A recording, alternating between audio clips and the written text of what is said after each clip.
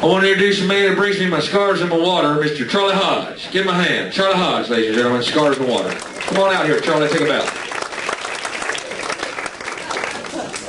Thank you, Charlie. Man that brings me my scars and my water, Charlie Hodge.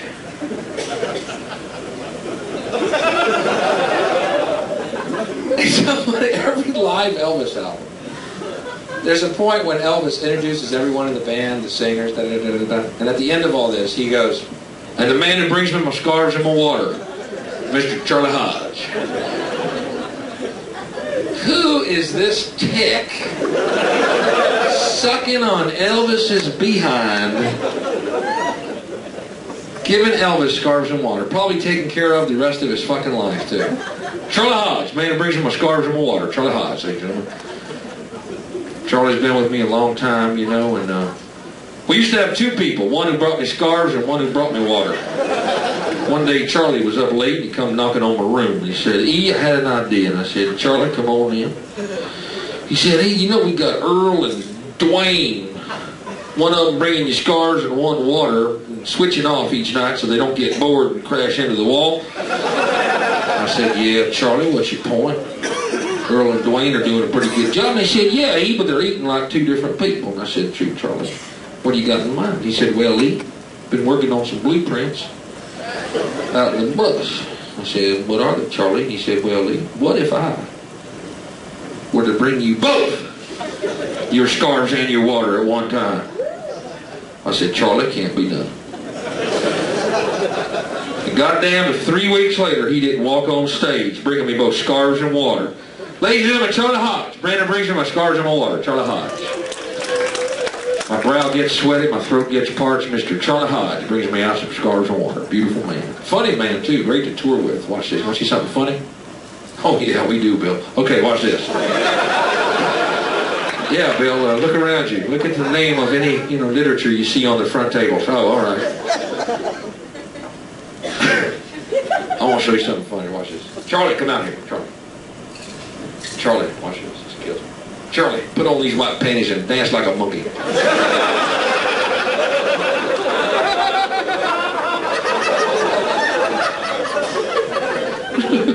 Charlie Hodge, ladies and gentlemen, give him a hand. Charlie Hodge.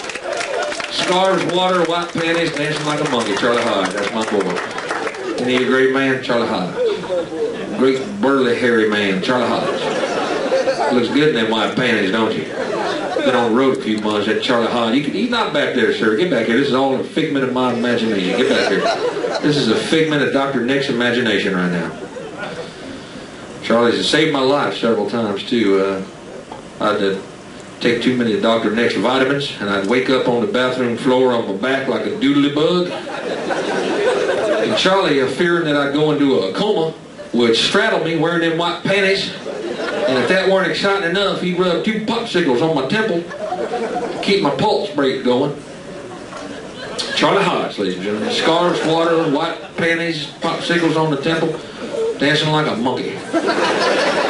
For that, I give him a trailer out back at Graceland to raise his 15 waterhead, hillbilly, rude cracker spawn that he's had with every two-tooth fucking waitress in every goddamn Waffle House in Kentucky County.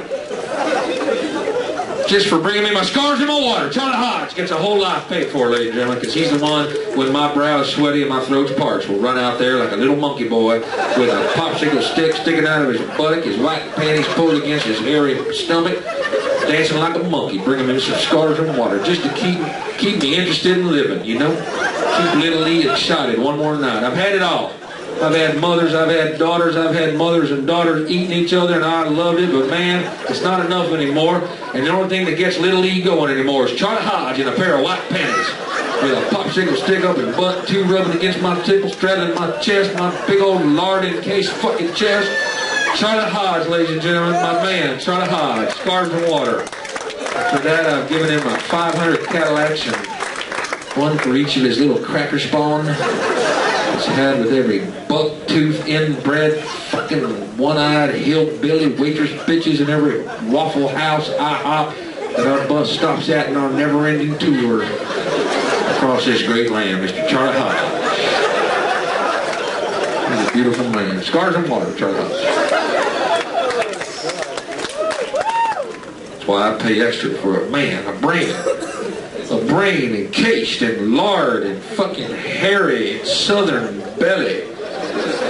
Swirled around a pair of virginal white cotton panties pulled up tight around his own little Charlie. Charlie Hodge, ladies and gentlemen. Scars and water. Give it up for him. Charlie Hodge. Come on out and take a bow, Charlie.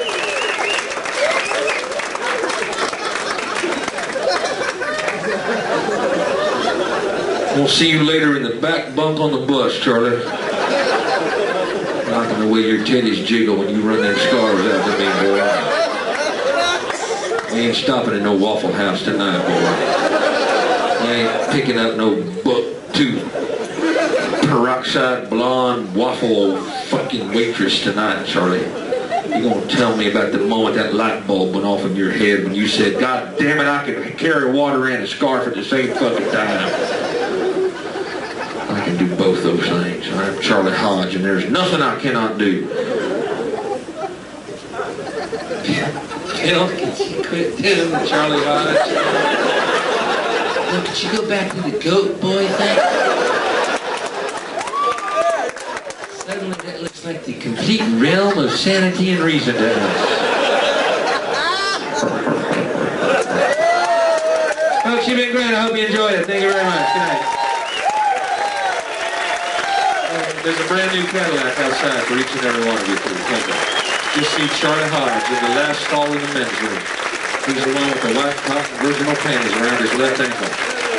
Thank you. Good night.